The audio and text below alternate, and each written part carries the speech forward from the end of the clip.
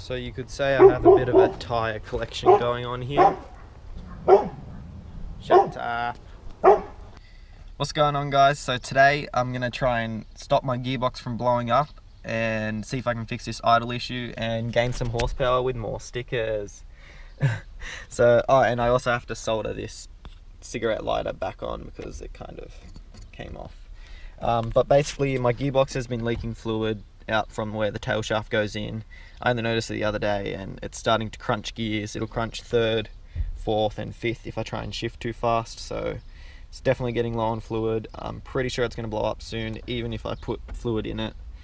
I do have my rebuilt one sitting in the uh, storage container ready to go on but it also has a leak from the same spot so I have to get that fixed before this blows up and so it's ready to go in and also I've got uh, it's over in the VE, but I have um, a throttle position sensor off another motor ready to go on and a coolant temp sender so I can finally hook up my temperature gauge because it's just been disconnected ever since the swap because of the different temperature sensors and senders and fancy shit. That's that's all I can say.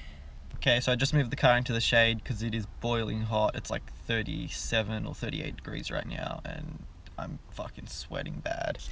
Uh, just took off the manual surround, pulled this shifter boot up, got to pull this up to get to get to these bad boys. So I'll undo those two, take that off, just so I have room to get around to this bolt, that bolt, and then two up the top. Take that plate off, dump some fluid in there, and hopefully she survives a few more weeks with some extra fluid because it's not looking pretty. I forgot how much of an ass this is to get these fucking bolts out. Pretty much have to climb under the car. I'm not bothered to do that. I've gotten this one loose, that one loose with this uh, ratchet and that. Um, now I've gotten that one completely out. This back one up here is an absolute dickhead. I can't fucking get it. I'm having to use a spanner. I still can't get to it properly. Probably have to go from underneath somehow, but like, who wants to climb on a hot fucking ground just to get to one bolt? Holy shit. So I just like bent this plate here because it's riveted in. I don't want to go get my drill and extension lead and all that shit. So I just bent the plate up a little bit and like just, just got this in there. Now to try and loosen the prick. Holy shit, that was a struggle. So I did end up getting this in there and then once I got it loose, I just cracked it loose and there was no way of getting this back out. So I fucking wedged the big one under there, pulled it backwards to lift it up as I pulled this out and god that took forever to figure out like holy shit that's probably the thing that's taken the longest today okay stop the video I gotta cut that's it it's over I'm quitting. I need to go to the hospital before I die.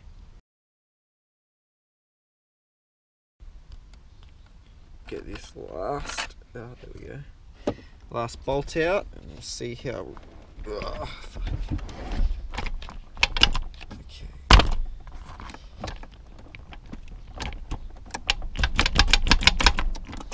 Oh, there we go, and she's pretty bone dry.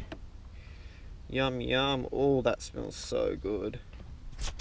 Alright, let's get some more fluid in this bitch.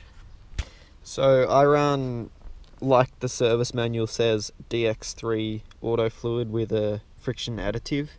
Uh, I've run gear oil before and when I changed over to this stuff it was so much smoother.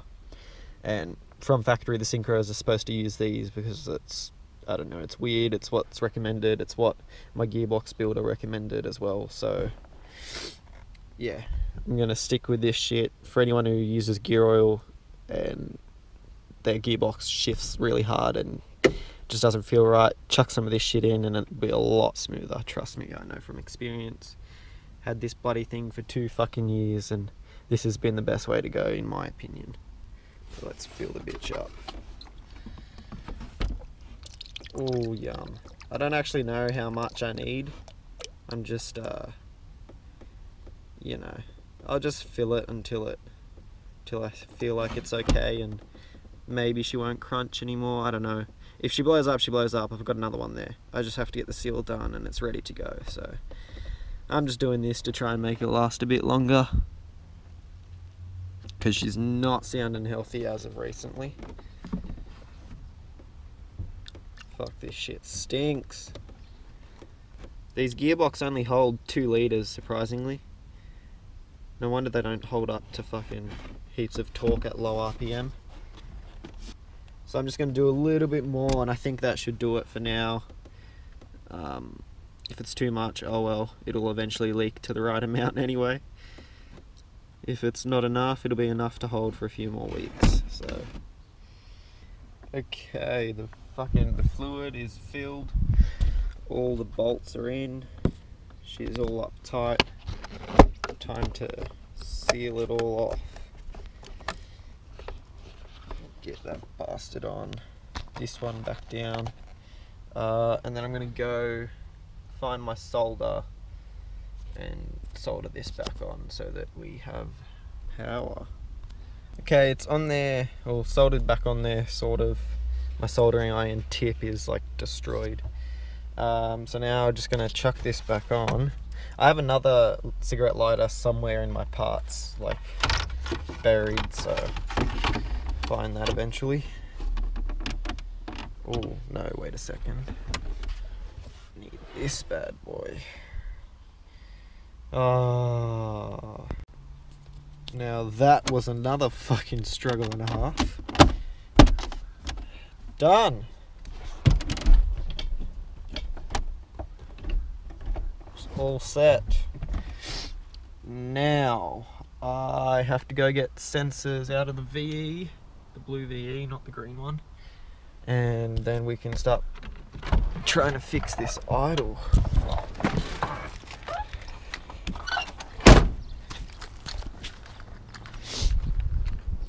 Bay.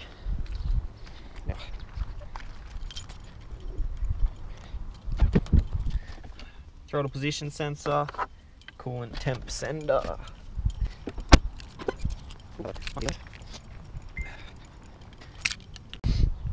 This is going to be a bit of a bitch to get to. The two screws that go there and there. Bit of an awkward spot down there. Okay, so it's actually impossible to get to this bottom screw right now until I get like one of those really short stubby screwdrivers. I have one somewhere, no clue where it is. I'll probably buy a new one and do that some other time. So I'm just gonna grab this temperature sensor, sender, whatever it is. Take this one out, put this one back in and connect the stock wiring to this. And it'll display on the stock dash like hot, cold. Eventually I'll change to a Autometer temperature gauge to go next to the boost gauge as well. And then an oil pressure gauge as well, connect down here. But yeah, so for now I'm just gonna do that. Extend this wire over to here. Oh, this dog just wandered up. Hey, buddy. What are you doing? Are you chasing my cat? You little dick. Go home. Or piss on a tree. Alright, um, anyway. Wire is connected. It's running over here. I've just got to change this uh, sensor. And solder, and then electrical tape that. Hey, don't come over here. There's a dog, he'll fucking eat you. Alright, all wiring shit's done now. I just gotta change this. Just realised coolant is gonna fucking piss out of here. Oh, good fun. Or not. I think I need to top up my coolant, hey. It's a good way to check. Just pull your fucking temperature sender out, mate. Should be right. Alright. I'm just gonna tighten that up all the way and then fill my radiator with water. Woohoo! Alright, the temp gauge is hooked up. So I'm just gonna start the car and see if we can get it going.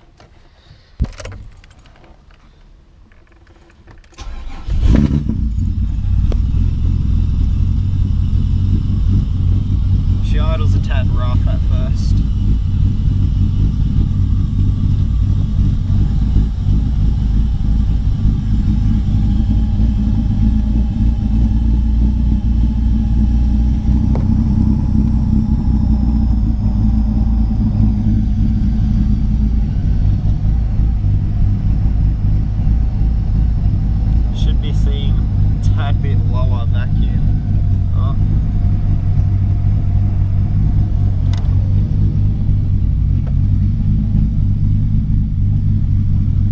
Pedal seems to be staying nor pretty normal. It's still a bit like lumpy, but it seems to be not. Wait a second.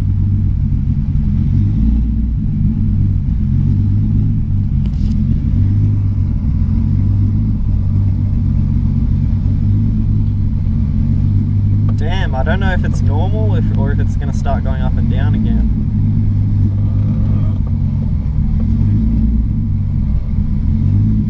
It is going up and... Okay, yeah. Fuck! What a dick. Alright, guys.